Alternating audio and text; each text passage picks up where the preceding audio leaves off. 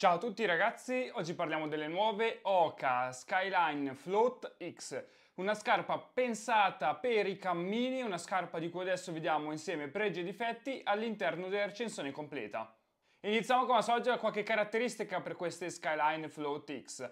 Per quanto riguarda la suola troviamo una suola Vibram modello XS Trek Intersuola in EVA a doppia densità con un drop di 5 mm ed una tomaia in tessuto tecnico che in generale le garantisce un peso di 420 grammi nella taglia 42 uomo. Adesso che abbiamo visto qualche caratteristica iniziamo con i pregi e difetti. Iniziamo come al solito dalla suola di queste Skyline Float X. Come dicevo troviamo una suola Vibram modello XS Trek, ovvero il modello pensato appositamente per chi va a fare trekking, modello anche abbastanza confortevole. In particolare questo modello presenta dei tacchetti che sono abbastanza bassi per darle un'ottima flessibilità, un'ottima fluidità anche quando si cammina su strada. Parlando di prestazioni, beh, per tutto quello che riguarda eh, single track, strade bianche, eccetera, non ha nessun problema.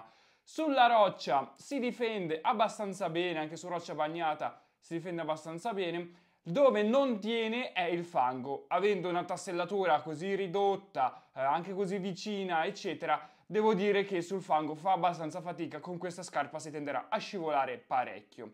Però per tutto quello che riguarda il non fango, davvero ha un'ottima tenuta. Continuando e passando a parlare dell'intersuola, beh, qui troviamo un'intersuola, come vi dicevo, a doppia densità, con all'interno anche una piastra in Pebax.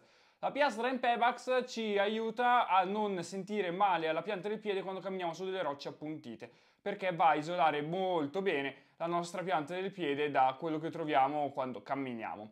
In sé poi un'intersuola abbastanza ammortizzante, perché comunque parliamo di un'intersuola che nella parte posteriore è alto addirittura eh, più di 4 cm. Devo dire che è veramente ottima la sua ammortizzazione, eh, sia poi, lo vediamo dopo, per persone leggere ma anche per persone eh, particolarmente pesanti che hanno una corporatura, una stazza imponente. E davvero, soprattutto poi essendo anche a doppia densità, ci aiuta anche nel momento in cui andiamo a spingere, eh, ridandoci un po' di ritorno di energia, così da poter risparmiare un po' di energia anche quando camminiamo. Quindi un intersuola davvero davvero buono. Continuando passiamo a parlare della tomaia iniziando dal puntale. Qui troviamo un puntale di media durezza. Per intenderci, se dovessimo prendere dentro qualche eh, roccetta non ci facciamo tanto male, ma se proprio tiriamo un calcio secco a una roccia, allora sì, il mare lo sentiamo. In sé poi la tomaia, come dicevo, in tessuto tecnico è veramente molto traspirante. Una tomaia così traspirante non la trovavo da un bel po' di tempo. Una tomaia che ci garantirà poi di poterla utilizzare anche in giornate estremamente calde, una tomaia fatta in tessuto che comunque ha delle parti rinforzate per farla durare anche a lungo.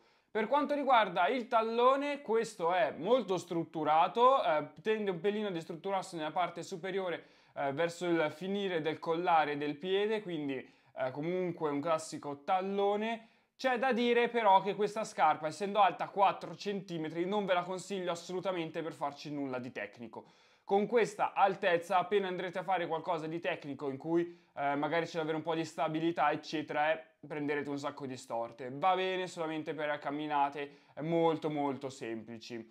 In generale poi per quanto riguarda la parte di imbottitura fatta bene molto imbottita eh, non abbiamo nessun problema da questo punto di vista.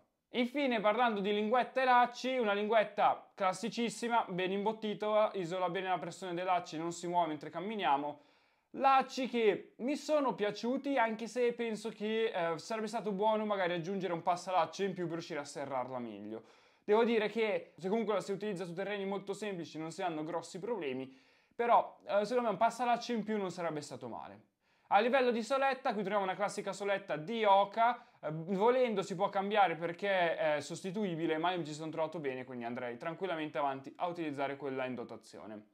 Parlando invece di grandezza dell'avampiede, beh, devo dire che c'è un qualche millimetro in più rispetto a una grandezza standard. Non la definirei una vera e propria scarpa wide, eh, però comunque è pensata che quando andiamo a camminare, se il piede tende a ingrossarsi, ha spazio per ingrossarsi. Quindi sicuramente di questa scarpa io vi sconsiglierei di prendere un mezzo numero, un numero in più, a patto che davvero non abbiate il piede, una pianta del piede estremamente grossa. Dunque, a chi consiglio queste Oka Skyline Float X?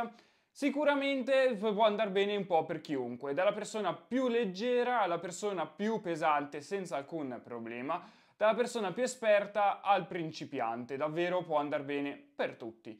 La grande discriminante è dove utilizzarla, come vi dicevo solo su terreno veramente semplice, strade bianche, anche asfalto, single track, ma quando iniziate a trovare roccette, qualcosa di tecnico, eh, non è la scarpa adatta. Come dicevo, la scarpa adatta per farci un cammino. Mi viene in mente magari una via francigena, un cammino di Santiago, cammini così dove magari d'estate abbiamo anche un'alta, alta temperatura, allora queste Skyline Float X davvero ci possono tornare estremamente utili per avere un piede anche sempre fresco. Arriviamo dunque alle conclusioni per queste Skyline Float X, iniziando dal prezzo. Online si trova sui 150-160 euro. Secondo me il prezzo è ragionevole per il tipo di scarpa che si va ad acquistare, è una scarpa che comunque strizza molto l'occhio anche per quello che è la sostenibilità ambientale perché è realizzata con materiali riciclati, in gran parte la scarpa per sé poi è riciclata, quindi eh, davvero Oka da questo punto di vista ha strizzato molto l'occhio alla sostenibilità, è bene che sia anche così. Per quanto riguarda poi le prestazioni, come abbiamo visto, perfetta per dei cammini, secondo me il prezzo ci sta, è congruo a quello che andremo ad acquistare.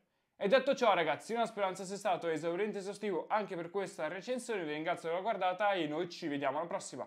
Ciao!